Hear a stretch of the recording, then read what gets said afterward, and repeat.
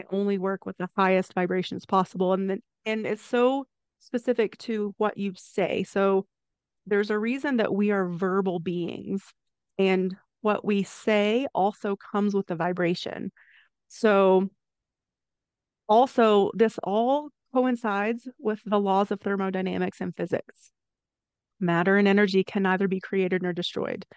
You know, um, so that's the first law of thermodynamics. So this also I like to also like bring sort of the woo woo and the science together so people understand that there actually is a foundation to it and it's not just something that's made up and you know and and is sort of flighty and you know woo woo. So Namaste, beautiful souls. I'm Shilpa, and you're tuned into the Omni Mindfulness Podcast, a sanctuary for spiritual entrepreneurs. As a holistic mindfulness coach and social marketing strategist, I'm here to guide you on a transformative journey. On this show, we explore captivating stories and provide practical tools that deepen your connection with your authentic self. Through the personal and professional narratives of remarkable individuals, individuals, we expand our consciousness and ignite the spark of possibility. Each season, I curate content that empowers you to create a holistic lifestyle encompassing spirituality, mindfulness, energy awareness, and mindset. Join me as we engage in conversations with experts in their respective fields and share solo casts from yours truly, all aimed at supporting you and relaxing, revitalizing, resetting your body, mind, and spirit. I'm your host and the visionary behind Omni Mindfulness. So, what if just one story?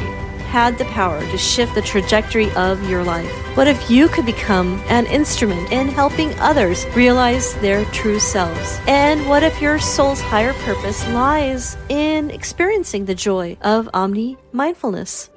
Remember, it's never too late to rewrite your story.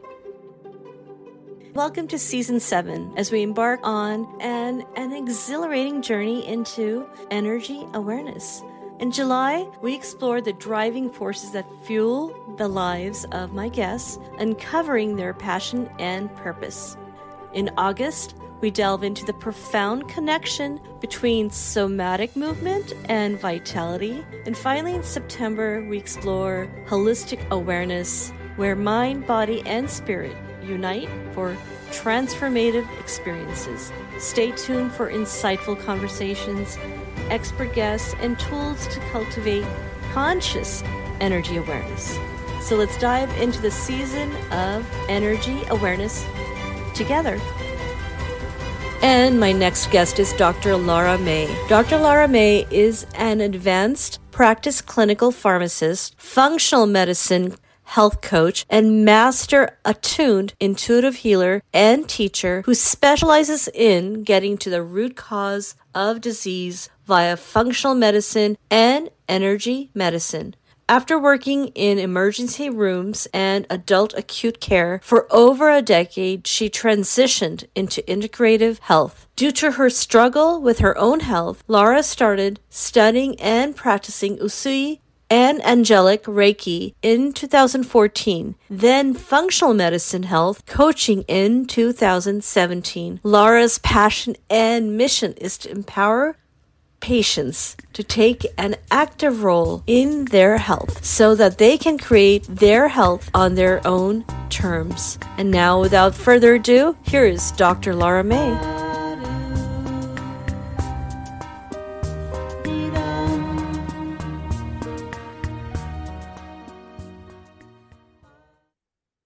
Well, Dr. May, I am so honored to have you here. Thank you. I'm excited to be here. I'm glad this worked out for both of us. Yeah, absolutely. Well, we we are having a little conversation just before I hit record about energetic awareness, holistic awareness, and I feel like this is a pivotal time in our um I, our, our generation, so to speak, mm-hmm. that are gaining a deeper understanding of in, intuitive medicine and intuitive awareness of our energy. And I really think you'd be wonderful to speak on this topic given your background. So, perhaps you can um, give the audience a little bit of a background on what you currently practice. Okay, sure. Um, well, I just want to say a little too about, you know, like you've mentioned generational. Um, I really think we're in the midst of an entire global awakening. And I think this concept of holistic awareness really is part of that. And it's lending itself to all of us waking up in different ways. So sort it's sort of meeting us where we are. You know, like the best coaches and therapists will meet their patients, their clients exactly where they are and help them from there. And so that's also one of the things I do. I'm a functional medicine practitioner and health coach. I'm also a life coach, Reiki master teacher, and I teach some other intuitive uh, modalities as well, like channeling and oracle card reading and angel messages, all those fun, fun things um, that I love so much. But really, all of it, I I weave all of it together for those that are ready. You know, not everyone is, and that's okay. So I still have plenty of clients that just want the functional medicine piece. And what is that? That's, you know, a personalized meal plan, supplement protocol, some testing, and then essentially like the path forward into healing from whatever their physical ailment is. No problem. I got you covered. But for those that are looking for that deeper connection and willing and ready to dig a little deeper within themselves, then there is this concept of holistic awareness. And it's really a choice. And I talk a lot um, on my show. I have a, a podcast as well called Light Body Radio. And I just recently released an episode called uh, Radical Responsibility.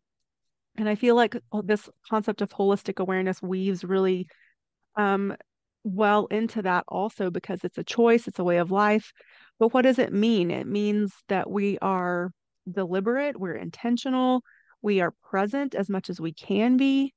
And we're also compassionate and understanding with ourselves, knowing that we're still human, that, you know, we have, I believe, our souls have chosen to all incarnate here on this planet at this time to contribute to this awakening, to this path. And so becoming aware of our physical bodies, but also our minds. What are we thinking? Are we letting our thoughts run our lives? And how does that translate to how we're feeling? Because part of also what I teach and practice is our thoughts really create our feelings and emotions. And so if we don't like how we're feeling, and we don't like these emotions are maybe we feel sometimes out of control with our emotions. We can be really triggered or reactive sometimes, especially when we're healing from trauma. You know, it's can feel out of control, but with holistic awareness, you're making a choice to dive into those, to really lean in and not be afraid to feel because knowing that everything is temporary. And once we feel our way through it, then that creates our actions and our results and then you know the life that we see before us. So also that concept of like we create our life we create our health we create our wellness and what are we going to do about that? Are we ready to step into that responsibility? And it, it certainly is a responsibility because we each are accountable for those thoughts. We are each are accountable for how we manage our energy and yet we live in a society where we try to put everything in a box saying well this is medicine um, let's just fix it with and then you give it a label and you try mm-hmm. to but i find it fascinating when i have guests who are ahead of the curve like you said part of the awakening now what's your story behind how you tuned in to this practice of holistic awareness well i'm a um, Western medicine trained clinical pharmacist. So let's start there. so people are co- being completely transparent of where I'm coming from from that perspective. So very based in science and the scientific method and you know very um I think that's left brain right very logical. but I've always felt connected to the spiritual world in some way shape or form. Um I was raised in a um fairly religious household in the Southern Baptist Church, and I never really felt at home in that community. And so um, over the years, I've tried different things, gone to different churches, studied different philosophies and religions, even throughout my education. I was just a couple courses shy of a minor in philosophy. um, in undergrad. And so I've always really been curious.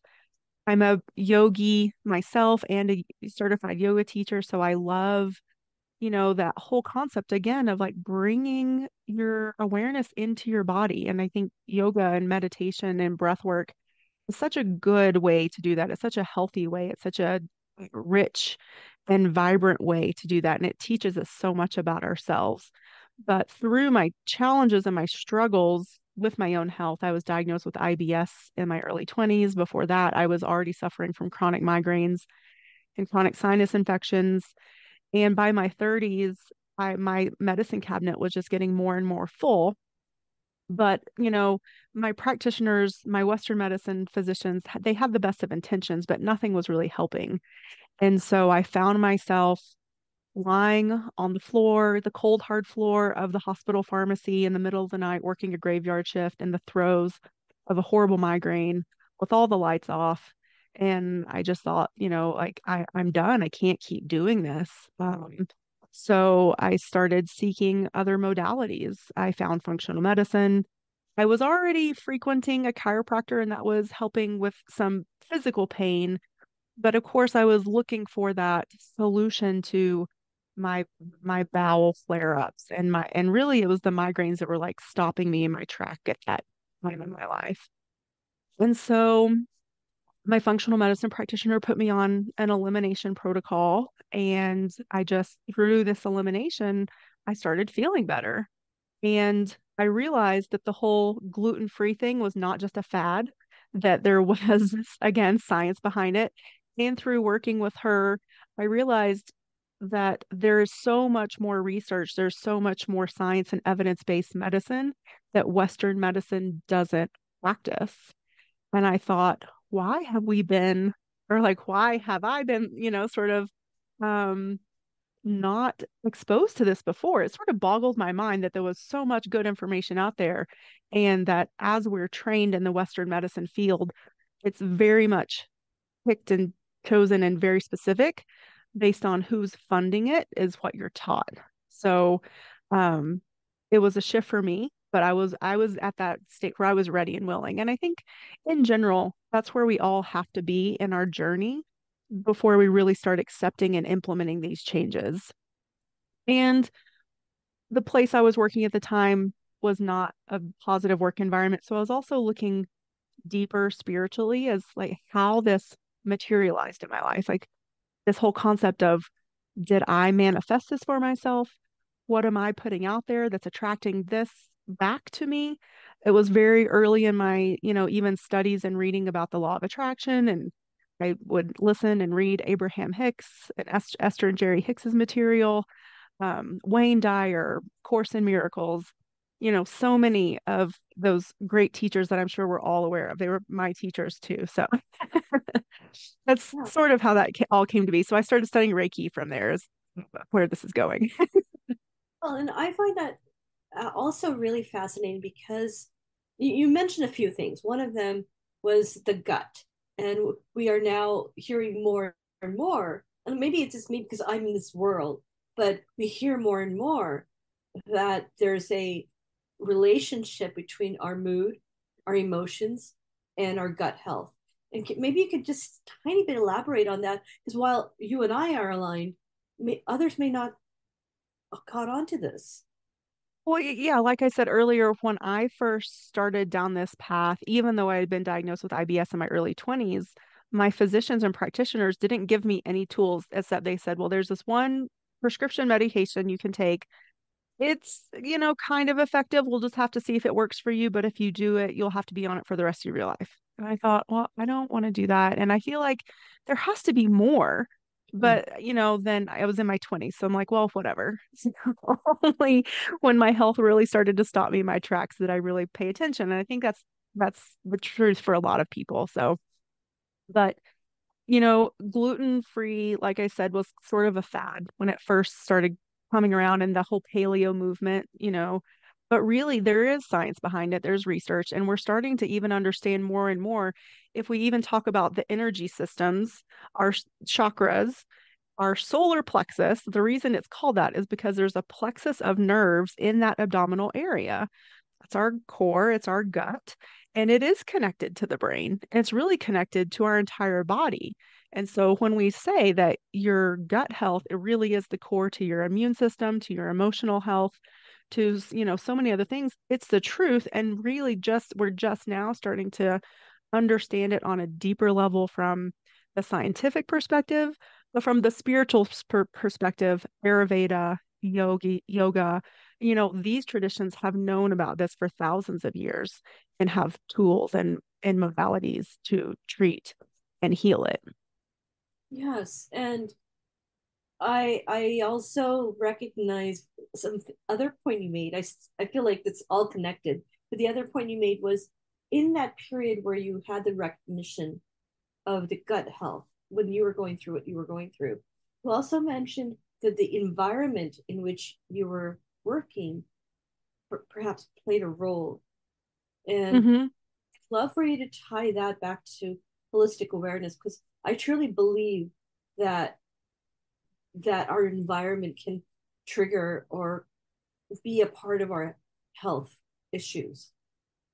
Yes. So I, I'll just say, I'll start with this. I think we've all experienced some sort of trauma throughout our lives, whether it's big T or little t. Honestly, to mm-hmm. me, I'm not really concerned with which size T it is because our body doesn't really know the difference. Our body just sees trauma as fight or flight and or freeze. And then it creates an imprint in our cells, in our nervous system. And so when we're triggered, we're you, the whole concept of the word triggered, if you think about it, means that our body is releasing this flood of chemicals again because something has reminded us of even if we don't remember what the trauma was, our body remembers. And so it releases this flood of chemicals, usually epinephrine, norepinephrine, cortisol, and then glucose. So this trauma or sorry, fight or flight and stress also really increases our glucose production in our bodies and can lead to um, insulin resistance and type 2 diabetes if it goes unchecked. So just throwing that out there too for anyone that that oh. thinks that stress is not a serious thing that can really lead to serious chronic conditions. But anyway, so that work environment at that time was encompassed a toxic boss that abused multiple people within our department at different levels. And we sought help and we were essentially gaslighted. Um, again at different levels, different times. And this went on for multiple years. And I definitely think that that triggered this inflammatory response. And although I was walking around inflamed at baseline already, I think it definitely added to that. So, whatever baseline inflammation I had, that stress level just sort of exacerbated and, and I think accelerated also. Um, and how did you, what was your journey like from that place in your life to now in your now new awareness of how you can, I would say, not only proactively manage your energy holistically, but how you can help, how you're using your knowledge now to help others?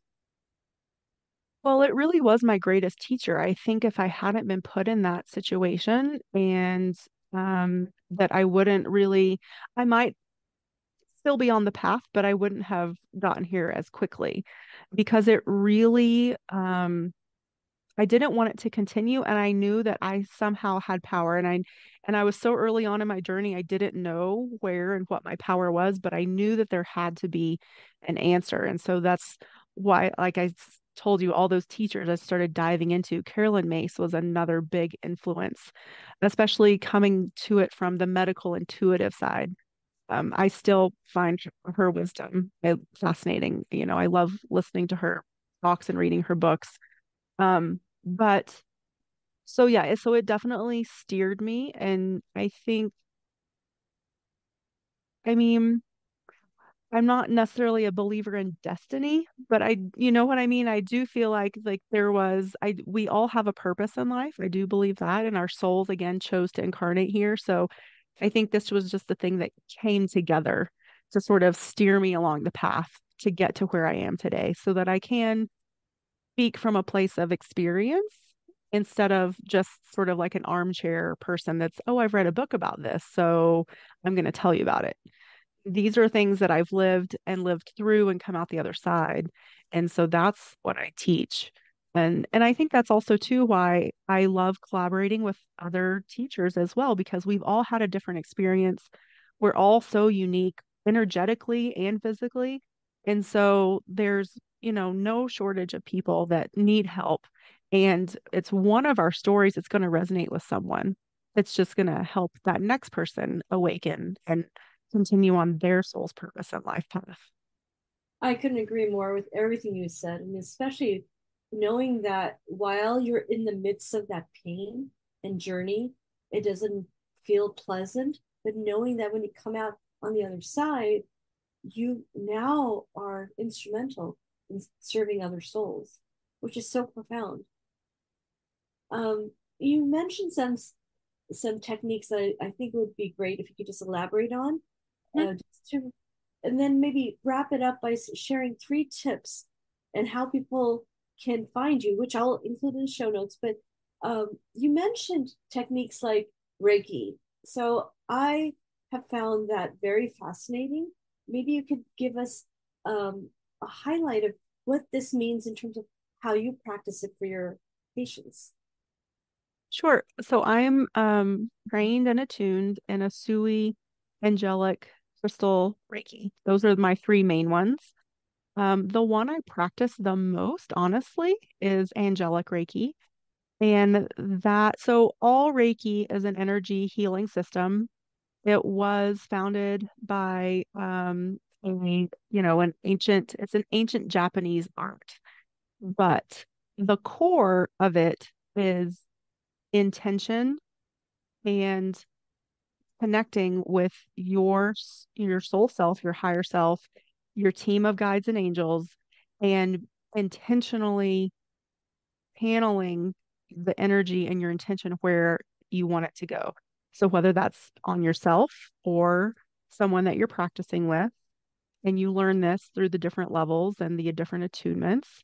But it, the reason I love it is because it, especially in this concept of holistic awareness that we're talking about, that it, it does, I just, I feel like I'm overusing that word intentional, but but it really is and and and that also i feel like simplifies it so it's not complicated. You there's a willingness and an openness and the connection and so when you are willing and you're opening and you are connecting to your higher self to source energy so it is a non-denominational practice um, then then you are raising your vibration and you're raising your vibration, especially with angelic Reiki, to have to, so you raise your vibration enough and the angels will maybe bring their vibration down, but not really. And then that's why I also love it. So it's a challenge for us to raise our vibration enough to connect with them and open up to their guidance and their healing energy. And then really within any kind of Reiki, you're the conduit for source energy. So it's really, um, I think it's sort of a foundational channeling practice if you really think about it. Um, it's not always taught that way, but that's my perception and that's sort of how I teach it. And and then I also teach advanced channeling classes. So it sort of helps people that are even curious about channeling that baseline. And it gives them a place of light and love to work with energy because again, we do live in a, a you know a planet of polarity. So there is plenty of shadow and darkness and uh, you know people want to work with energy in that way they totally can but i am a light worker. I only work with the highest vibrations possible and then and it's so specific to what you say. So there's a reason that we are verbal beings and what we say also comes with the vibration. So also this all coincides with the laws of thermodynamics and physics. Matter and energy can neither be created nor destroyed. You know, um, so that's the first law of thermodynamics. So this also I like to also like bring sort of the woo woo and the science together so people understand that there actually is a foundation to it and it's not just something that's made up and you know and and is sort of flighty and you know woo woo. So um I don't know. Did I is that do you want me to keep going or It's fascinating. No, actually, it did explain it, and I, I sincerely believe in it, and I sincerely have had, um, I would say, spurts of awakening and understanding last several years, going from what I felt like was just pure matter and physical stuff, whether it's the body or that big tree out there, to now saying, no, that big tree out there is chi, it's energy. And when I walk barefoot in the backyard, it's that grounding energy that I, I'm resetting that energy within my body. And then when I work with clients, it's always starting with the intention. So I've heard this before from other energy workers that you're starting with intention. And intention at the end of the day truly is energy. Right. Yeah. So all of this carries vibration and all of this, so sound carries vibration, light is a vibration. Um, that's why I love crystal Reiki too, because you'll use the vibration of those crystals that are also attuned to, you know, to Reiki themselves. So they're all like little Reiki masters working on on the behalf of the client. And my intention is always for the highest and greatest good of the client and for all of us really because we're all part of a network. We're all we are all part of a oneness. And so even though most of almost all of what we do is for ourselves really it's also for the betterment of the universe if you also take it back to this we're in this process of grand awakening so. Yeah and we're all connected so mm-hmm. gee. Now these are techniques you've mentioned, but even maybe taking it one step further, when we think about holistic awareness, can you bring it down to um, more pra- practical levels for those who are completely green to this concept of holistic awareness, saying, you know, I'll just put one idea out there, maybe you can elaborate that even the food we eat is energy, mm-hmm. but holistically speaking, all of the vibrations of the different types of food affect us on so many levels. For sure, especially when we're eating whole foods that come from Mother Earth, from planet Earth. So we are beings that are living on, um, on a living, breathing planet. It's not just some dormant rock. There is a magnetic core to the center of the earth that, again, we know about through science, physical science. But with that comes the energetic aspect. So it has magnetic poles, which are energetic. Anything that comes out of the earth, whether it's a vegetable, a fruit, or like you said, trees, herbs, the birds, the animals, all the flora and fauna, they all have a different energetic imprint. And with that being said, though, you can upgrade the vibration of what you're eating with your intention. And if you think about all the different religions of the world previously, and any of them that practice the blessing, you know, saying a blessing over your food before you eat it, that's a very similar and I think came with a very um, a likened intention. So even if you're not religious and you don't say a blessing over your food from that perspective, you can still come to a quiet space before you eat, close your eyes, breathe easily and deeply, come into a space of gratitude in your heart, and then just, you know, ask for your guides and angels, your higher self, to bless this food to raise its vibration for your highest and greatest good. And it seems so simple, but it can be really powerful because unfortunately, most of the food that we are getting in the Western world, the United States, is really depleted of vitamins, nutrients, um, that sort of thing. So it's not as vibrant as it once was, but that doesn't mean that we can't liven it up. That makes sense. It does make sense. And even earlier, you mentioned not beyond just the concept of what we digest and the vibration with which it comes. You had mentioned words are vibration, and mm-hmm. perhaps mm-hmm. the colors we choose, um, the environment, how we d- decorate it. They're they're all vibrations. Yes, uh, there was a period where I was working with an Ayurvedic practitioner, and that was actually part of the protocol based on uh, re um, reestablishing a doshic balance within my system, which is what Ayurveda looks to do. It was not only like the color of the foods, but what colors were was I wearing? Because yes, colors have their own frequency, their their vibration. So it we really again, the, coming back to this uh, holistic awareness, it's it's everything. If the true word whole is I, just a few years ago, um, I started even more recently after than that, started wearing more orange. yeah, yeah. Vibrancy from that energy. Um, so for the audience who would just like maybe three tips that they can immediately start practicing. Any any suggestions you have to integrate holistic awareness into your life?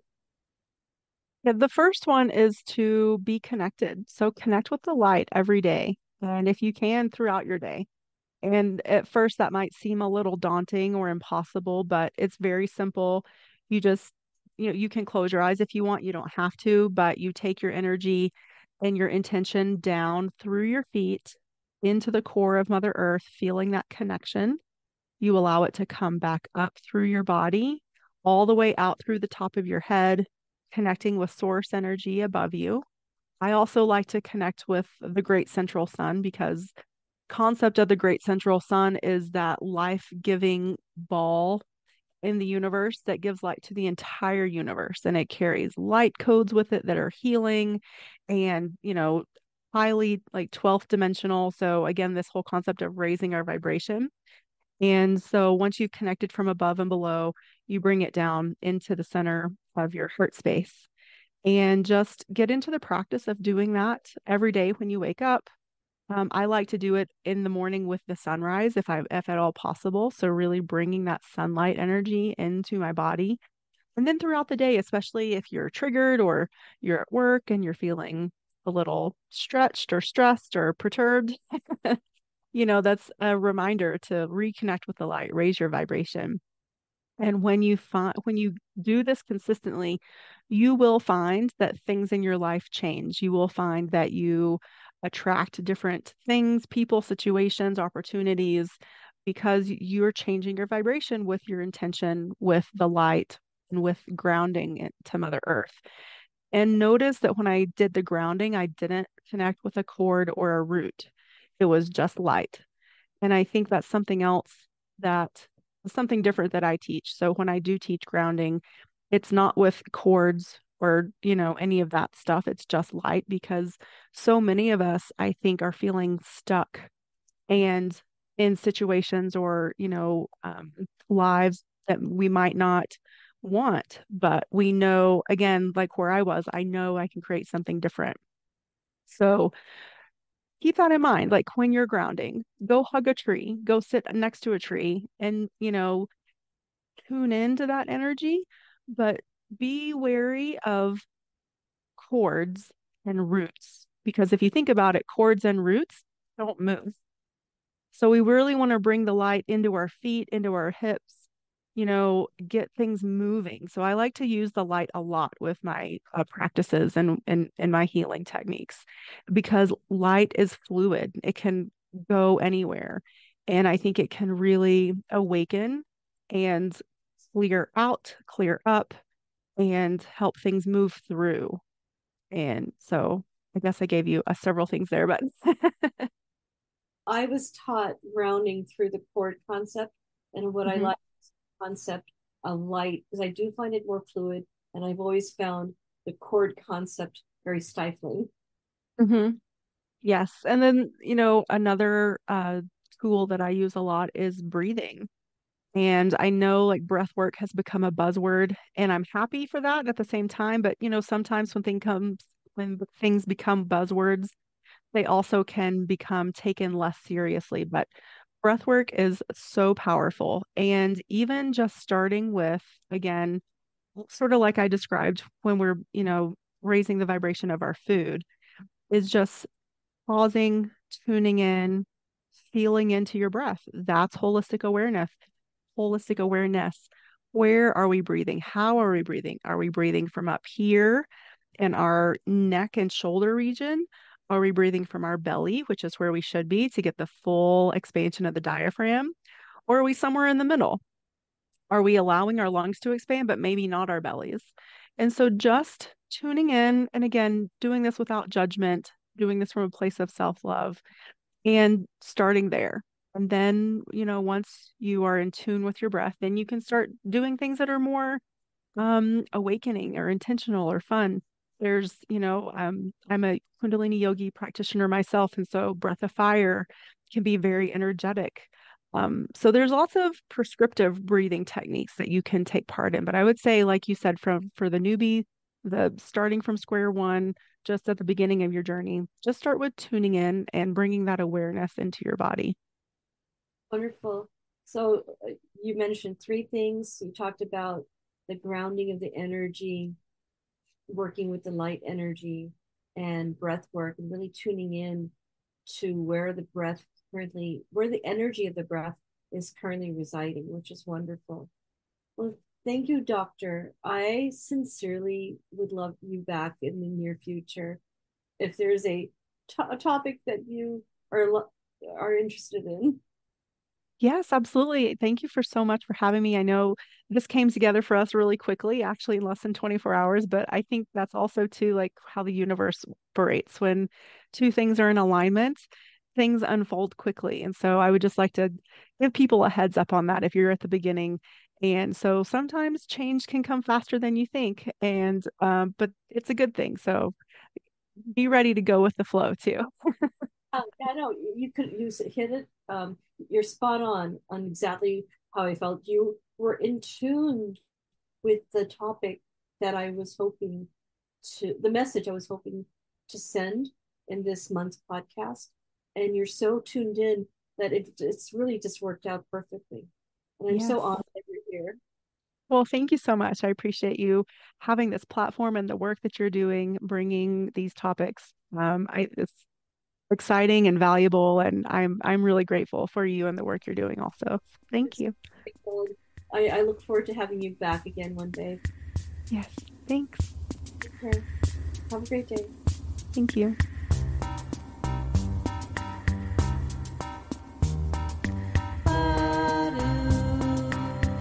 Thanks for tuning in, sweet soul. If you've enjoyed this episode, I would be so grateful for your kind review on Apple Podcast. Simply click on the link in the show notes to leave your lovely feedback and uplift our spirits. Your support means the world to me and helps our show thrive. So please show me your love and continue to practice Omni mindfulness.